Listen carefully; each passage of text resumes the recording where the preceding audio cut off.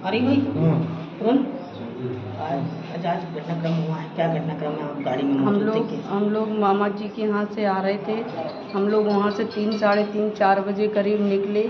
वहाँ से आते आते मेरा तो नींद में झपका लग गया था और यहाँ आके मेरे लड़के को गोली मारी।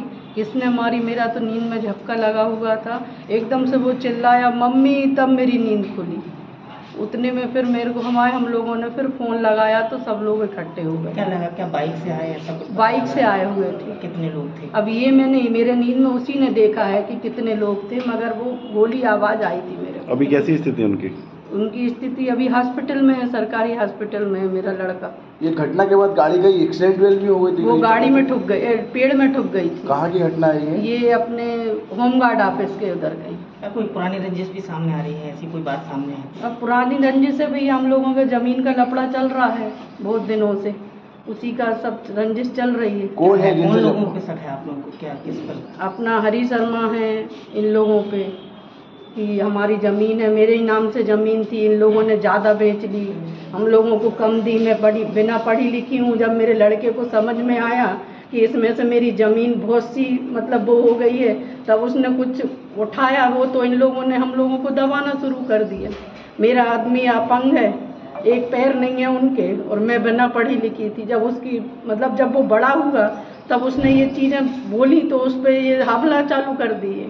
कॉम्प्रोमाइज वाली बात सामने आ थी नहीं नहीं कोई कॉम्प्रोमाइज नहीं कर रहे हैं वो। पिछले साल वो तो कोई- ये बोल रहे हैं कि हम निपट लेंगे। पिछले साल कोई गोली कांड हुआ था जिसमें अपने बेटे हाँ पर भी भी आरोप लगा था क्या? आरोप गोलीकांड पिछले साल भी इसी उस पे हुआ था। तो उसमें आरोप किस पे लगे थे? आपके बेटे पे भी थे क्या उसमें? हाँ बेटे पे भी था मेरे पे तो उसी के बाद उसी के बाद कॉम्प्रोमाइज हुआ था ऐसी बात नहीं वो जो एक जो भैया थे उनसे कॉम्प्रोमाइज हुआ इनसे नहीं हुआ था। ठीक है। ये सुबह सूचना प्राप्त हुई थी कि शिवम तिवारी नाम का व्यक्ति है, उसको गोली लगी है। ये घटनाक्रम हाउस होमगार्ड ऑफ़िस के पास में पीडब्ल्यूडी की पुलिया है, वहाँ का है। बताया जा रहा है, बताया गया है इसके द्वारा कि ये बनखेड़ी से अपने परिवार माँ और एक ड्राइवर के साथ लौट रहा था, जिसमें ये जैसी एजी के तराई को पार करता हुआ अपने घर तरफ़ जा रहा था।